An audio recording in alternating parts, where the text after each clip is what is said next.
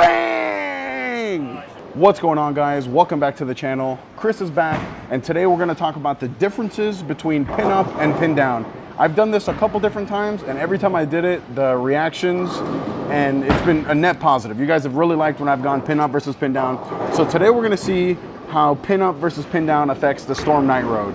So make sure to hit that like button, subscribe, hit that notification bell. If you like the jersey I'm wearing or the jersey that Chris is wearing, make sure to go to coolwick.com and use my promo code Napoles10. That'll get you 10% off your entire order. And then down below in the description, there's gonna be a link where you can order the Night Road or anything bowling related. It's the best way to help support the channel. The best way to keep Chris around because he's expensive. All right, so what is the difference between pin up and pin down? In a nutshell, the pin is above the fingers, means pin up. If it's below the fingers, it means pin down. Well, damn, Luis, what does that mean for ball motion? What does that mean for the tech of the core? So the Storm Night Road features the inverted FE squared technology core, which in 15 pounds has an RG of 2.57, which is very high, and a max differential of 0.046. Okay, so if you drill a ball pin up, it's going to increase the differential and decrease the RG. So it's actually gonna make the ball hook a little bit more and actually a little bit sooner. Then when you drill it pin down, it's just gonna be the opposite. It's going to decrease the differential and increase the RG. So basically, I'm and I'm, i try to do this as layman's terms as possible because I know that the vast majority of my viewers aren't super high level tech savvy players. So pin up, the ball's gonna be a little bit sooner, hook, a, flare a little bit more. More flare means more hook, and it's gonna respond to the friction harder. More snap. More snap, yes. But it doesn't mean longer, more angular. It means it's gonna read the friction sooner. And then pin down, because it's gonna de decrease the differential, means that the hook potential is gonna come down, and because the RG is gonna be higher, it's gonna be a little bit longer. So a little bit longer, a little bit weaker, a little bit smoother overall. So, wow, that's a lot of tech. We don't know what Chris's uh, layout numbers are for these balls because these are both my balls. But for me, the pin up one is 30 by 4 by 30, and the pin down one is 30 by 4 by 70. I only trained, I only changed the VAL angle to keep as much of it the same as possible. And the surface of these are 4K fast. So let me know down below in the comments if you guys have any pin down bowling balls or why or why not. For me, all my stuff is pin up for the videos, but the last two pin down balls I drilled I really like, the Zen and the Gem. So if, if this continues to be the trend, I might drill a little bit more bowling balls pinned down. We're gonna be here at South Point on lane two on a fresh, typical house shot. All right, first shot of the video here, we're both gonna start in the pin up one, and then I'll let you guys know when we go from the pin up to the pin down.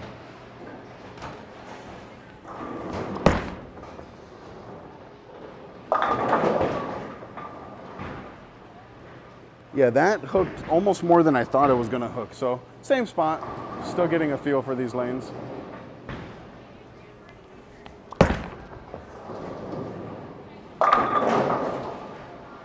All right, so this is gonna be Chris's first shot with the pin up Night Road. He's gonna start five left of me, and then we'll see what happens here. Oh my God. All right, so this is, again, still the pin up one, same spot.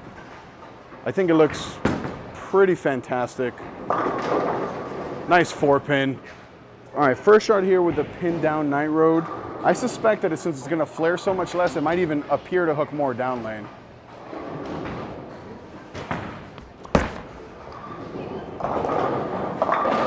Yeah, we got him, yeah. All right, so I'm gonna move left off that shot. It's using less up front, so it has to use it more down lane. Let's see how this looks when I move in a little.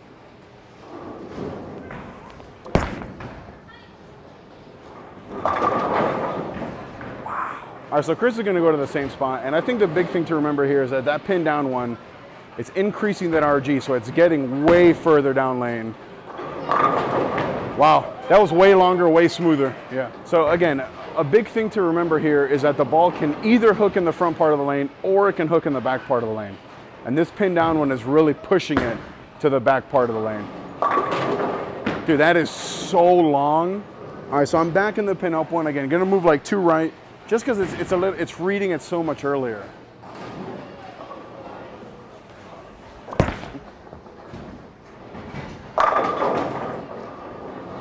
All right, so I think right now I prefer the pin up one. But we'll see how that changes, if that changes as we progress here.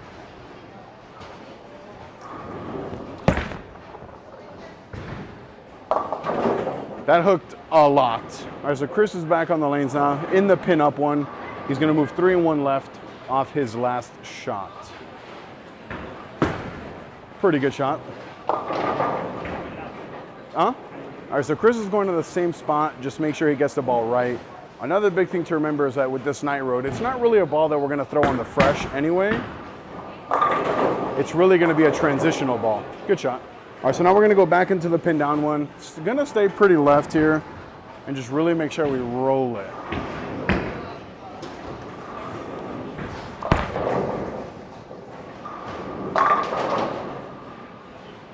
So I think honestly, the pin down one's forcing me a little bit further left, but I think it's more reliable, especially down lane.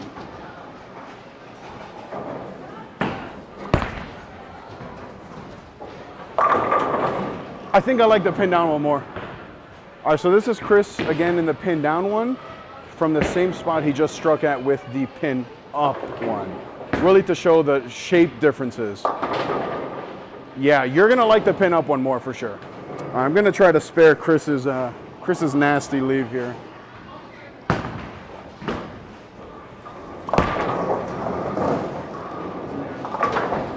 Bang! All right, so that split conversion was for all the haters who says I can't shoot spares. So Chris is gonna move left now on this pin down one. Push. All right, so we just got done throwing what, eight shots each with the pin up one and the pin down one. And I think that this is gonna be a really good video. Chris is a rev dominant player, right? That's pretty fair to say, who tracks a little bit lower. I am more of a balanced, more balanced style, definitely a lower rev rate when compared to Chris. And the ball that we like is different. And I think that's an important thing to remember. Chris for sure matched up more with the pin up one. It read it, you know, he's a little bit higher ball speed, higher rev rate. He wants it to hook a little bit sooner and not hook so much down lane. Because remember, if the ball's hooking in the front, it's not hooking in the back, and then vice versa.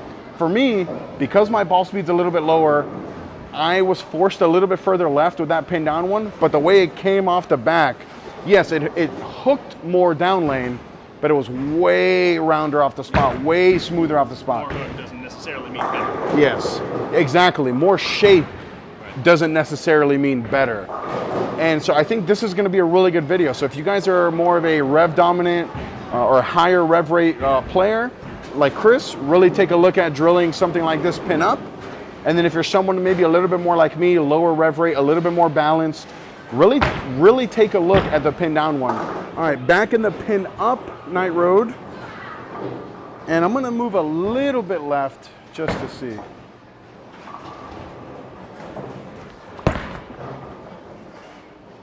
All right, let's move left with both of them. All right, still in the pin up one, gonna move three left. This is basically where I am with the pin down one.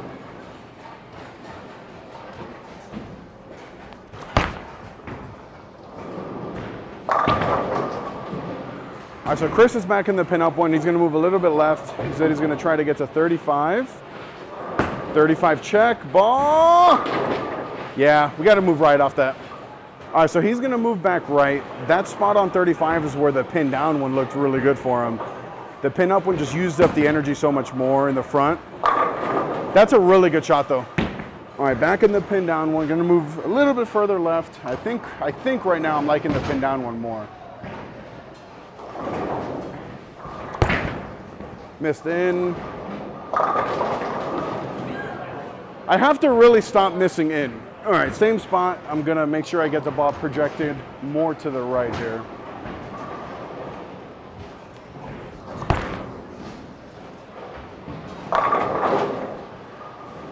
All right, Chris is back in the pin down one. Looking like he's gonna try to finish around 37, 38 with his feet. See how this looks. 38. Wow. All right, Chris is gonna go right back to that same spot. Maybe soften up a little bit. See if he can get it to be a little bit more flush, especially since he almost six pinned on that last shot. That's a good shot. Oh, the messenger. All right, back in the pin-up one, and I think I'm gonna stay, like I'm not gonna move left with the pin-up one. I think I'm gonna keep the, the pin down one and chase that one left.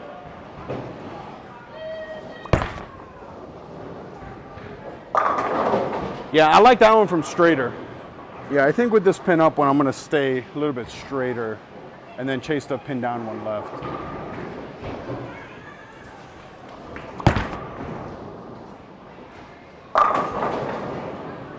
And then maybe because of Chris's rev rate or his speed or whatnot, he has them a little bit closer together than what I have them. But that's pretty good. Yeah, you could tell the pin up one wants to read a little sooner. All right, let's see how this pin down. I think this is just the same spot. Ooh, dirty nine pin, man. All right, back in the pin down one, and then like I said, I'm just gonna keep chasing the down one left, and the up one I'll stay right with.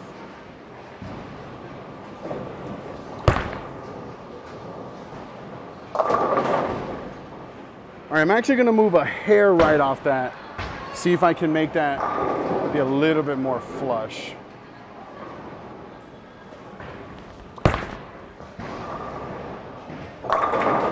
Oh my God, how many messengers am I gonna miss? All right, Chris back in the pin down one. And again, it's been pretty consistent that the pin down one has shaped more for us because it's so much longer. Yeah, you gotta move right. All right, so off that last shot, Chris is gonna move a little bit right, and then again, staying in the pin down one.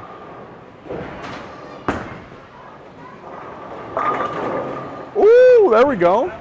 So I think, or I find it interesting that for me, the differences between the pin up one and the pin down one are significantly larger than the differences for Chris. The pin down one still shapes more down lane for both of us, or maybe not shapes more down lane. It creates more motion or hooks more down lane. And that's because the RG being so much higher, it's forced to use up more of its energy in the back part of the lane. But for me, I have him at least like seven or eight boards difference. What about, about like four. And he's about four. And again, I'm playing them both a little bit straighter than what Chris is playing them. Chris is pretty far left of both of them. So now we're gonna get back on the lanes, finish up this video here, hopefully on a on a positive note. I'm gonna actually keep moving right with the pin up one and move left with the pin down one. Yeah, all right, let's get on the lanes. All right, back in the pin up one for me.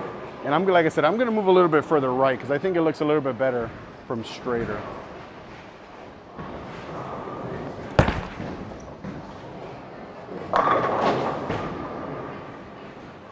Yeah, I, I think I like this more from straight than when I have to shape it.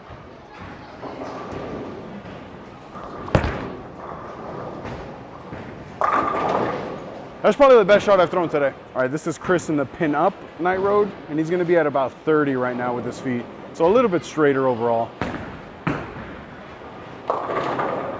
Yeah, you gotta move more right. All right, so he's gonna move a little bit further right still, keep it more in front of him. This pin down one just wants to reach the front so much more. I think that's gonna be really good. Good shot. So somewhere in between would have been a really good, yeah. All right, now back in the pin down one. I think I'm about eight boards left with my feet with the pin down versus the pin up one.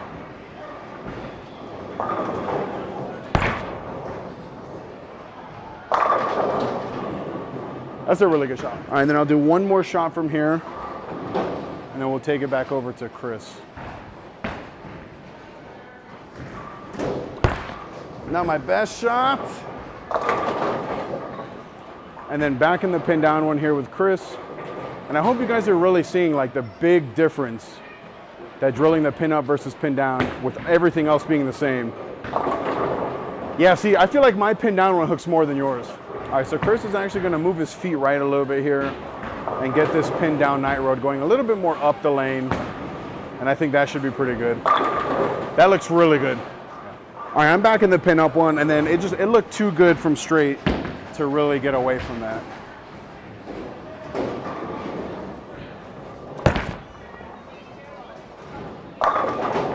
Mm.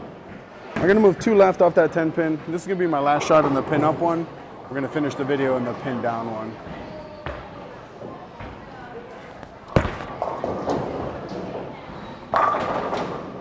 All right, then Chris is back in the pin down one. Again, just want to get it going up the lane. It's crazy how much more you match up with a pin-up one. And then again, this is why I just love having Chris on the videos. Just completely different styles and we both match up with each of these balls differently. That, that, that, that boom. All right, my pin down one. I'm gonna move a again a little bit further left. This is the furthest left I've been the whole time.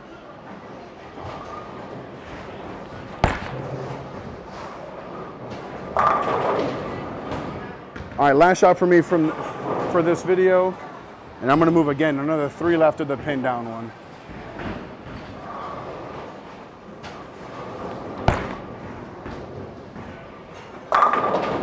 Bang! All right, two more shots here with Chris, both in the pin down one. He said he's at about 33 right now. Looks like he finished at 32. Yeah, it's crazy how different they are for both of us. That's it. All right, Chris is gonna move a little right here. He was just telling me how this is exactly why he never drills pin down stuff. And knowing your game and what matches up is just so important. That's a good shot to end the video. All right, so we just got done going over what the difference between a pin-up bowling ball is and a pin-down bowling ball is, featuring the Storm Night Road. And again, the biggest thing is the how it's gonna change the core dynamics. And then Chris just got done telling me that he almost never drills pin-down bowling balls.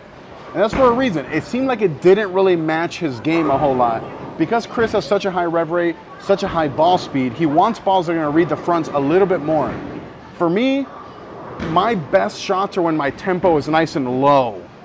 When I'm not rushing, my feet are nice and slow. When I and because of that, I don't need anything that's gonna hook early in the front part of the lane. I need stuff that's gonna clear the fronts. And I think that this pin down night road is gonna be the one that's really gonna open up my eye in my brain about drilling more stuff pinned down. Yeah, makes sense. Yeah, and so I think that going forward, Chris is probably. I'm, I'm just gonna give this ball to Chris. You can have it. All right, cool. So again, don't be afraid to drill pin down if you think it'll help your game.